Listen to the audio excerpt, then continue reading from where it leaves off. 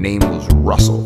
Yes, the lap dance is so much better when the stripper is crying. Yes, the lap dance is so much better.